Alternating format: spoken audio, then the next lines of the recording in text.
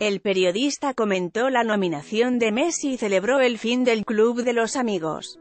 Este jueves se concretó el retorno de Lionel Messi a la selección argentina en la nómina que entregó el técnico del albiceleste, Lionel Scaloni, y al otro de la cordillera de los Andes, el periodista Martín Lieberman criticó duramente la lista.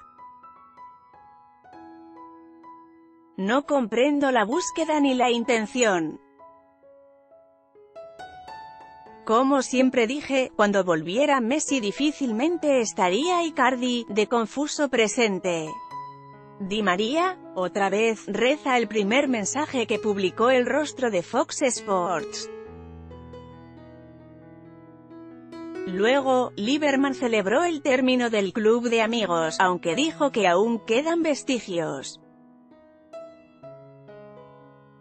La vieja camada se terminó.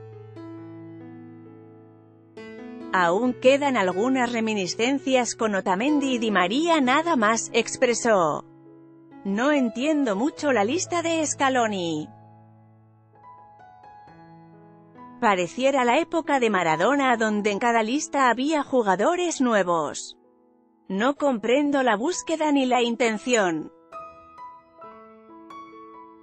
Como siempre dije, cuando volviera Messi difícilmente estaría Icardi de confuso presente. Di María, otra vez La vieja camada se terminó. Aún quedan algunas reminiscencias con Otamendi y Di María nada más. El único que debe estar es Messi pero sin elegir los partidos Martin Liberman at Liberman Martin, 7 de marzo de 2019 temas.